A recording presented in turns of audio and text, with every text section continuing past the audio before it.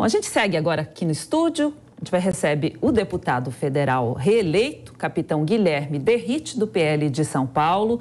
Seja muito bem-vindo, deputado. Um bom dia para o senhor.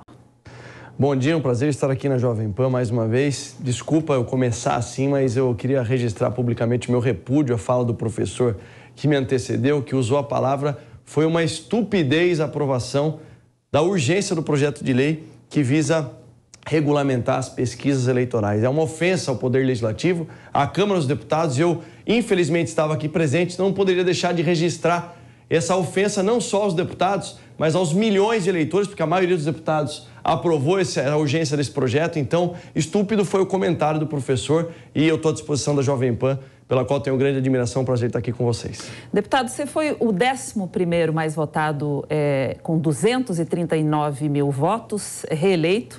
Como foi essa disputa para se reeleger?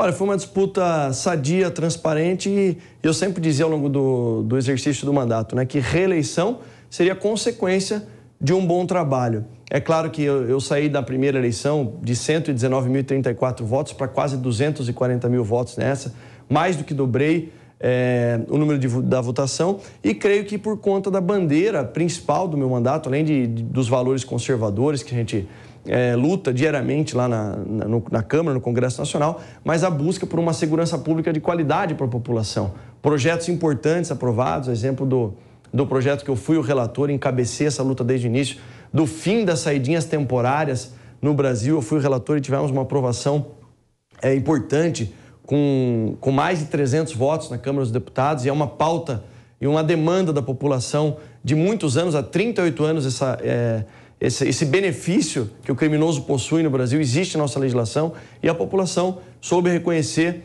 é, no dia 2 de outubro me ele, reelegendo para deputado federal com quase 240 mil votos. Deputado, a eleição desse ano aí demonstrou a força do seu partido, né, o PL, que ficou com a maior bancada aí no Congresso, passou de 79 para 99 deputados.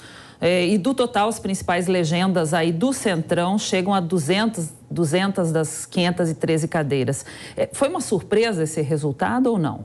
É, a gente trabalhava com uma hipótese aí de no mínimo 90 e no máximo 105, os mais otimistas 110. Então, a nossa expectativa ela foi atingida, foi alcançada. Só no nosso partido são 99 deputados federais eleitos. Lembrando que os 78 não foram 78 eleitos em 2018, né? Foram cerca de 40 daí durante a, a, a janela de filiação partidária. Alguns vieram, é o meu caso, eu fui eleito pelo Progressistas, mas migrei para o Partido Liberal a convite do presidente Bolsonaro e também por uma questão de coerência para apoiar o candidato ao governo aqui, o Tarcísio de Freitas, porque o Progressistas no primeiro turno não o apoiou.